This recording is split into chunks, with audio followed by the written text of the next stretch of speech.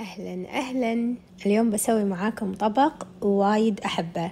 بسوي معاكم short ribs طبعا بالفرن بطريقة وايد سهلة وما راح أقدمه مع خبز ولا صمون راح أقدمه مع عيش. وايد الفكرة حلوة وسهلة ويعني ما ما تبي شيء. حتى اللي ما تعرف تطبخ راح تعرف تضبطها أول شيء نحتاج آه الأضلاع البقرية أوكي؟ حجم كبير. طبعا إيش سويت؟ نظفت الأضلاع باستخدام كلينكس كلينكس المطبخ. اللحم ما ينغسل. ال short ribs ما يصير تغسلونه. بس تنشفونه بكلينكس تشيلون الدم منه ونتبله وندخله الفرن. أول شيء نتبل ال ribs بشنو نتبلهم؟ آه طبعا تقدرون تقصونهم بنات. تقدرون تقصونهم مثلا كذي وارباع أو مربعات يعني. أو تقدرون تقصونهم على طول الضلع البقري. أو تطبخونهم نفس ما أنا بطبخهم. كاملين كذي. آه البهارات يفضل ما تحطون بهارات يعني مثلا بهار مكبوس ولا بهار برياني ولا كاري. مفروض يعني نحط بهارات معينة مثل الثوم ال powder البصل ال powder البابريكا عشان ما ما يعني ما نعطي ال short ribs طعم غير أو مختلف. أوكي؟ وبحط أنا بعد فلفل حار. تقدرون تحطون الخضار اللي تحبونه مع ال short ribs. أنا بس بحط بصل وثوم ما راح أحط ولا شيء ثاني. قبل لا نتبل اللحم عندي هني بصل قاصتها كذي شرايح راسين ثوم قصتهم بس كذي بالنص فلفل حار. آه راح أحطهم تحت اللحم أوكي؟ يعني راح يكون مثل فرشة حق اللحم قاعدة حق اللحم. ليش حاطة أنا بصل شرايح؟ لأنه ما أبي أحط ماي أوكي؟ فالبصل راح يطلع ماي ويطبخ اللحم وما يطلع عندي بعدين كذي وايد ماي مع اللحم عرفتوا؟ تقدرون تحطون شوية ماي إذا تبون صوص بس أنا ما أفضل.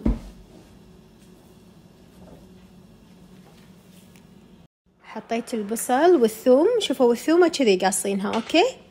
واضح؟ كذي قاصينها بالنص بقشرها طبعا. حطيتها والحين بحط فلفل حار.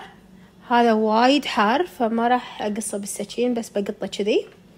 أوكي ونبدي الحين نحط البهارات. أول شيء نحتاج بصل بودر.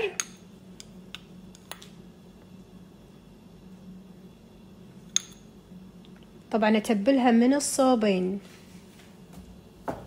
وأحتاج ثوم بودر.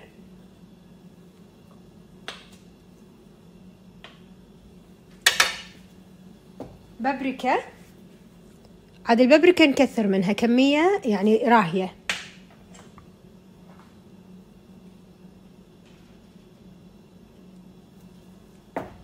وفلفل أحمر حار. أنا بستخدم هذا التركي. أي نوع فلفل أنتوا تفضلونه الحين أضيف الملح.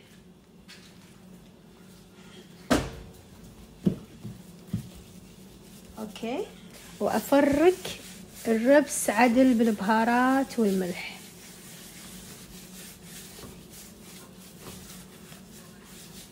الحين أقلبها على الصوب الثاني وأسوي نفس الشيء. أحط نفس البهارات وملح. وأرد اقلبها مرة ثانية. لازم يكون العظم صوب الصينية من تحت. أهم شيء بالربس يا جماعة الخير فترة الطبخ. ينطبخ على الأقل ثلاث إلى أربع ساعات بفرن حرارة متوسطة. يعني تحطونه 150 من تحت أه تخلونه على الأقل من ثلاث إلى أربع ساعات علشان يصير عندك اللحم ذايب. في ناس أصلا يطبخونه ست وثمان ساعات. طبعا كل ما انطبخ أكثر كل ما ذاب أكثر وصار أحلى. الحين أحط أول شيء ورق الزبدة وفوقه القصدير. وألف الماعون عدل أحكم إغلاقه وأدخله الفرن. ولفيت الماعون عدل بالقصدير حطيت ورق الزبدة وطبقتين من القصدير بس الحين يدخل الفرن والملتقى بعد ثلاث ساعات ثلاث إلى أربع ساعات. راح أقدمه مع عيش مصري أو عفوا عيش أمريكي بالشعرية. طبعا سويته وايد معاكم فما راح نعيد الطريقة موجود بالإنستغرام باليوتيوب وبكل مكان. ورجعت لكم بعد مرور ثلاث ساعات. اللحم استوى. آه بس لحين ما طلعته من الفرن. قبل لا أطلع من الفرن قلت أصور لكم العيش. سوينا عيش أمريكي بالشعرية. طبعا قلت لكم طريقته وايد سويتها معاكم فما عندنا الوصفة. تقدرون تقدمونه مع عيش أمريكي بالشعرية آه، عيش أمريكي بالخضار عيش مكسيكي عيش بسمتي كيفكم مع أي نوع عيش. إحنا ال ribs نحبه مع عيش. أفضل من ال يعني أفضل من نسوي برجر ولا ولا بخبز ولا كذي عرفتوا مع العيش أحلى. يلا نشيك على ال ribs مع بعض. ترى كلش ما شيكت ولا شفت. قلت نفتح القصدير. ونشوف مع بعض. الله الله الله. شوفوا شوفوا شوفوا. شوفوا الجمال. تشوفون طبعا البصل. شوفوا شلون تكرمل. هذا يصير الحين مثل حشو على العيش يطلع خيالي. بس أبي أشوف للحمى ذايبة. لحظة خليه بشوكة وأرد لكم. ثم الشكل عوار قلب عوار قلب. ذايبة ذايبة ذايبة ذايبة مستوية. واضح. كنا اشتهيتها الحين بخبزة. مو مع عيش شوفوا. طبعا بنات إذا خليتوها أكثر من ثلاث ساعات بعد أفضل أربع ساعات على نار هادية خمس ساعات. في ناس يطبخونها ثمان ساعات. بس على نار كلش هادية تصير أحلى. كل ما ط... يعني طالت مدة الطبخ كل ما صارت الربس ذايبة أكثر بس تكون على حرارة يعني أقل من 150 أنا أول شيء حطيت درجة الحرارة 200 أول نص ساعة بعدين قصرت على النار وخليتها على 150 لمدة ساعتين ونص يعني الإجمالي ثلاث ساعات. الله بسم الله ننشب العيش ونحط الربس فوق العيش. تقدرون تحمرونه إذا تبون. أنا ما راح أحمره ما يحتاج. ما نبي ينشف كذي حلو.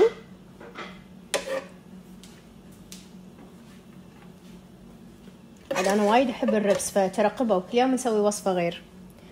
آه كنت بسوي وصفة ثانية وايد لذيذة بس خواتي ما يبونها فنسويها يوم ثاني إن شاء الله. اليوم على ذوق خواتي سويت التتبيلة. الحين نشيل الربس هذه المدلعة ونحطها على العيش. بسم الله. هذا لأن ذايبة ذايبة فما أبيها تفلل حاول أشيلها بحرص شوي شوي. بسم الله الرحمن الرحيم. وننزلها كذي على العيش. هذا البصل شفتوه البصل هذا الذايب؟ بحطه فوق العيش كحشو. هذا ما ينقط هذا لذيذ والثوم بعد. شوفوا الثومة شلون صارت مشوية تينن. بعد بحطها على العيش. لا نحط البصل الذايب المكرمل كذي نوزعه. تخيلوا طعمه. متشرب من نكهة ال ribs والبهارات وذايب ذايب. شوفوا وش حلوة. ترى ما حطيت ولا نتفة ماي. أنا أبيها كذي مشوية. ما أبي فيها صوص. فكلش كلش ما حطيت ماي. محمرة صنوبر بزين بالصنوبر أحب الصنوبر مع العيش وايد. صار مكبوس ربس. عرفتوا؟ إحنا حتى الربس نسويه كويتي. الحين أشيل من الدهن اللي نزل من الربس وأحطه كذي من فوق. يعطي الربس لمعة ولذة وجمال إجرام إجرام إجرام إجرام. عرفتوا الحين ليش ما شلت الشحم اللي على الربس؟ أبي هذا هذا الدهن يطلع شو أنا ما حطيت ولا نتفة الدهن هذا كله من الربس. علشان تكتمل اللذة شنو؟ الصنوبر المقلي. هذا ضروري ندلع فيه العيش والربس. الله الله. صار صار مكبوس رسمي الحين صح؟ لحظة لحظة بعد رشة كزبرة ولا بقدونس وليمون ويا سلام سلم. الليمون الأخضر هذا ضروري مع العيش إحنا وايد نحبه. أوكي. وهذه رشة البقدونس. وتسلم إيدي. إيش رأيكم بالطبق؟ حبيتوا تغيير عن الوصفات اليومية والمكابيس العادية. حق اللي يحبون ال ribs أتوقع وايد وايد راح تحبون الطبق وراح يوز لكم إذا طبقتوه. ما شاء الله. تبارك الرحمن. شوفوا جماله يا جماعة الخير. شوفوا. شيء رهيب ولذيذ. وأهم شيء سهل. يعني شفتوا وش كثر الوصفة كانت بسيطة وسريعة. وعلينا وعلى عيونكم بألف عافية. يلا نشوف نشوف فقرة تذوق أدري أدري تبونها يلا حين نتذوق مع بعض. طبعا هذا ما يبي له دقوس هذا يبي له معبوش وروبة وسلطة خضراء. ما شاء الله تبارك الرحمن. تسلم إيدي. يلا الحين وقت العشاء. العشاء المتأخر كالعادة. يلا جاهزين نجرب؟ طبعا قدمنا الأكل مع سلطة خضراء. والروبة والخضرة والدقوس والبيبسي وسلامتكم وتعيشون. يلا فقرة النشاب. بسم الله الرحمن الرحيم. لحظة لحظة خل أشيل الصحون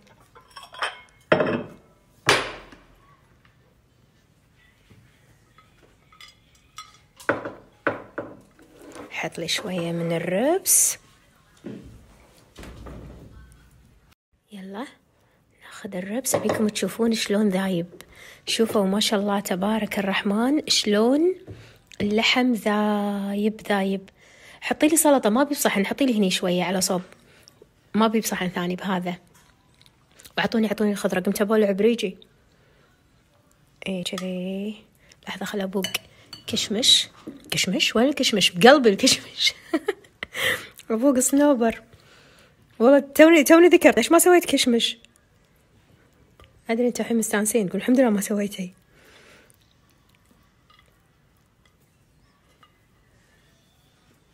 يلا بسم الله نجرب. أبي أبي طعم بنات أبي شيء مو لذيذ. اللي بعده اللي بعده خيال خيال جربوا الوصفة وايد راح تيوز لكم وايد مو شوية. أصلا تخيلوا هذا هذا مفللة ونحطه بصمونة. شنو يطلع؟ نار. صمونة ribs. ribs burger. بس اليوم مشتهينه مع عيش. طبعا الوضع عندنا على الطاولة صمت. الكل قاعد ياكل. شوفوا شوفوا. طيرنا ما شاء الله صينية.